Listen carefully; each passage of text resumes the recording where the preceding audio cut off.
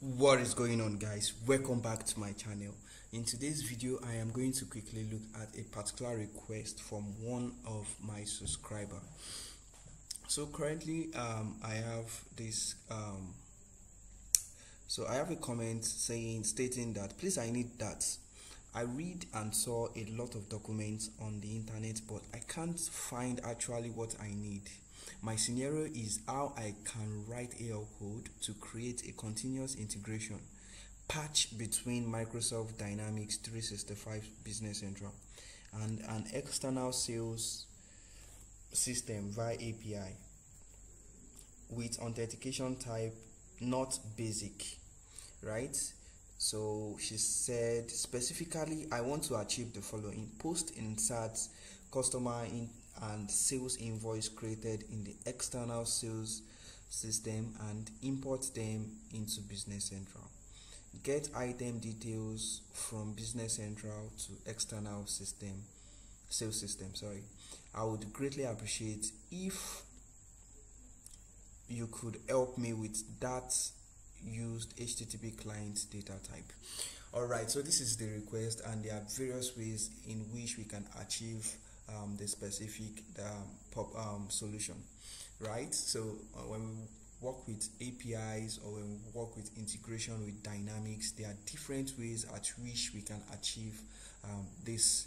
So I, I, I feel like um, for this tutorial, I, I am going to show you the different types of ways in which we can tackle um, this set of scenario, right? If you're new to my channel, please subscribe to my channel. I offer Business Central development um, tutorials. I also, once in a while, touch the functional parts, which I think um, is the most um, requested part in Business Central, right? So if you're currently new or if you're an existing watcher and you've not subscribed please consider subscribing today um, currently my channel has 18 subscribers for this particular year which is yeah, which I'm cool with because I, I haven't been honestly um, uh, consistent with my uploading. But right, this is fine. And my goal for the year was a thousand, and we are still currently five months for the year, and I know a lot can be achieved um, towards the end of the year. So um, please do subscribe, like, share. You know, my channel needs it. All right, so let's move into this video like I said, we have three different ways in solving this particular solution. So because she has explicitly stated that she wants she wanted HTTP client, so I am going to make this tutorial a part tutorial. So I have actually recorded this video before, but I ended up deleting it um, by mistake. So that is why I am currently re shooting this particular video all right so let's move to our development environment. As you can see i have already made so many definition to this project. All right so uh, in order for me to bring you to to my to uh, my thought process and this is what uh, my thought process is.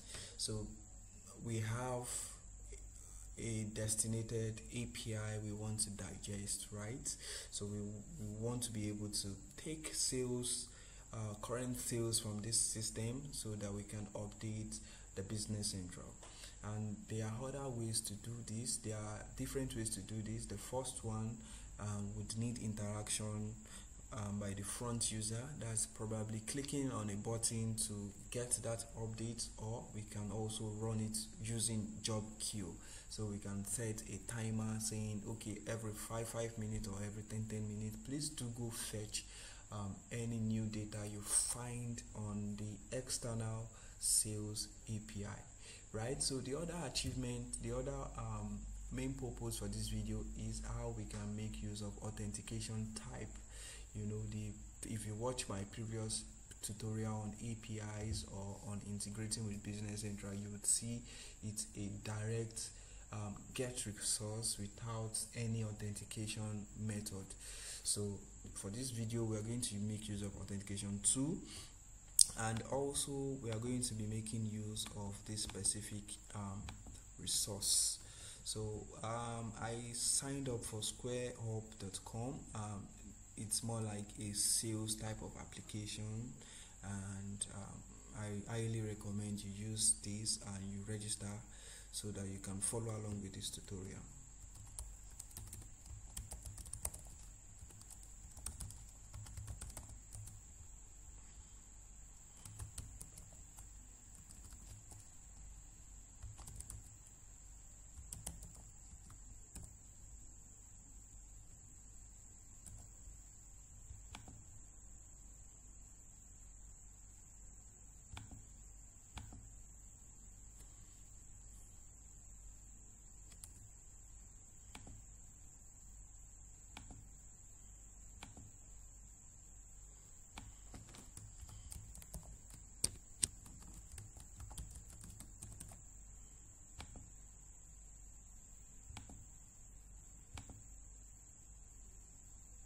okay.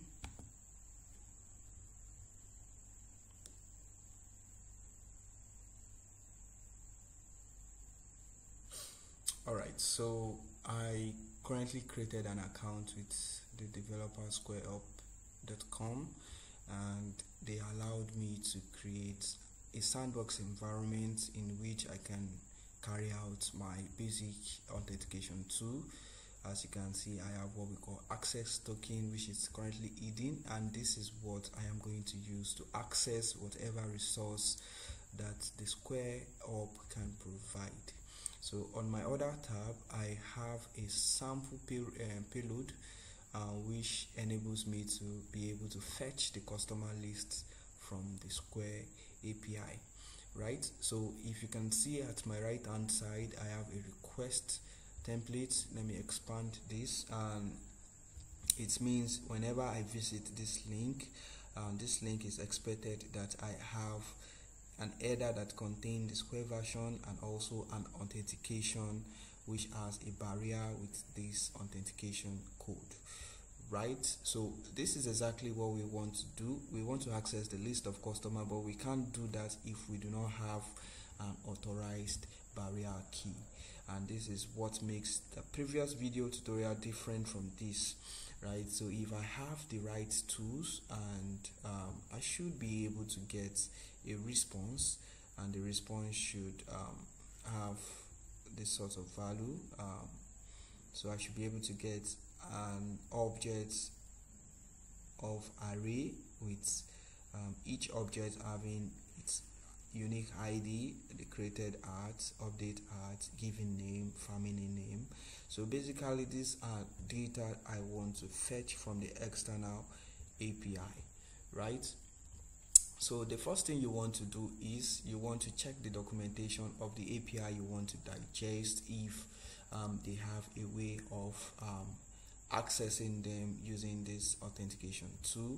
As you can see, I'm using my token key to access um, this payload right? Because I said I have already made this video before and mistakenly deleted it. That is why I have this structure already. So what did I do here? What I did was to create a page extension. I only want to create an action button on the customer list extension right? So what I did was I called the code units that I developed and I reference it within the action that whenever I click this whatever program is within this fetch data should run. And if I come to the code unit called fetch data uh, you can see it's just a normal template code unit and fetch customer list right? So if you see within the function I have fetch data. So I reference a client the client being um, let's just look at the client as your browser. So I want to run whatever HTTP request I make use of the client and the client is referenced to an object called HTTP client right? So I also declared a URL that would hold the link to visit and also a result. Whenever I get a result you know somewhere I can dump those results. So I created um, a result placeholder and also we have array data. So array data also takes all the value of an array right? So we have a response which is very important. If you watch my previous video i explained what it means. So http response is whenever i use my client to get a particular um, link so whatever result it brings i want to save it using this http response message. Client content this is after requesting whatever thing what's the header the status i want to save everything inside the client content. So i have a json object to represent the objects which we are expecting from the api and also a json array. JSON token, as I explained, whenever we want to get a specific information from either a JSON object or a JSON array, we use a JSON token to reference that whatever result comes after this, please dump the result inside the JSON token. So I also created a boolean called is successful to check the status of my connectivity. If it is successful, if it is not, I want to um, echo out a specific error so the same thing i also want to have a reference to the id i will be getting at the end of the day the name the nickname email notes complaint and i also created a reference to the index which i'll use for my looping of array. So this is more like index like what index am i currently on exactly. So for the name nickname company name so so as it doesn't look like a rocket science. So if I expand this you see I have notes email address nickname. These are the information the result I will be getting at the end of the day. So I wanted to create a variable that holds those information right? So what I did here now is the first thing I did was what URL do I want to visit? As you can see earlier I referenced that I want to visit this connect.squaresandbox.com version 2 I want to get the customers list. So what I did was that I cleared the client. In case there were an existing content in the client I want to clear them so that I can start afresh. So the next thing I did was I said client.default header dot add. So under the default header I want to add a new header to it. As you can see square version same way we have seen it from the API request. We have the square version and the authentication I also represented that respectively. So this is the most important one. This is the authentication version 2 so I'm saying authorization bearer equals you know so exactly the way it is from the API endpoint. So this is just like my user ID that gives me access to the customers list. So the first thing I did was I said is successful equals the client dot get because I'm currently using a get method. I also want to retrieve whatever data is currently present on the customers list. So I'm saying if the client dot get it so and this return a boolean either true or false. So i'm saying if it gets this url please dump whatever response you see. Put the response inside this variable called response right? So now i'm also checking if it is false is successful is it successful is it yes or no true or false. If it is not successful so i'm saying kindly check the url probably you have misspelled the URL or you're putting a wrong URL to the API, right?